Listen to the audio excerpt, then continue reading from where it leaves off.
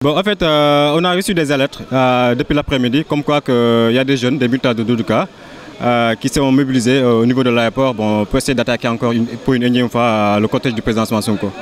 Quand on est venu par au fait, effectivement, quand on accompagne notre président, donc effectivement, on a commencé à recevoir des, provocations, des lance-pierres, et vraiment, c'était encore une énième attaque qu'on subit encore au niveau des Ziguinchor. un appel, comme toujours, au calme, parce que hier, on a fait un meeting de la GPS nationale, euh, porté par la GPS de Giguinchor, euh, dans le sens de mobiliser les jeunes du parti et de lancer au calme et à la stabilité.